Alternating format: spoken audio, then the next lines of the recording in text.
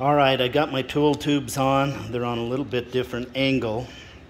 And they're just different. It's just one rack sticks out a little bit more on one side because of the exhaust or what's what's there, you know. So it's just the way it is, but it's all right. Can live with it.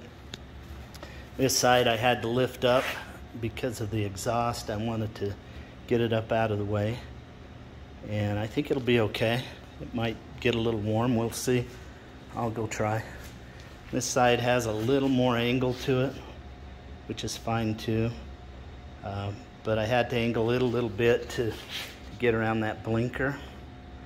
I pull my tools out. I put my tire tools in that one and I put my, my tool kit in the other. And I really had to slim my tool kit down. I'm gonna have to work on that a little bit, remove some tools and add some tools and and um, so we'll work on that later. For right now, it's time to go ride.